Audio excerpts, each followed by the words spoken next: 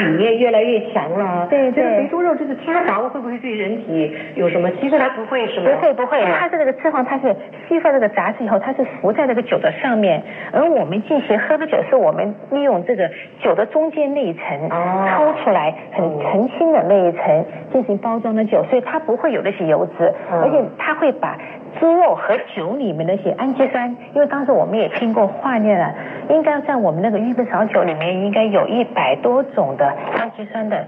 就是有益的物质在里面。因为我们喝这个玉冰烧的酒的话呢，应该也喝的也是它的风味物质很丰富，而且还有很有营养的。哦，也就是说这个肥猪肉这是特殊的工艺，只有我们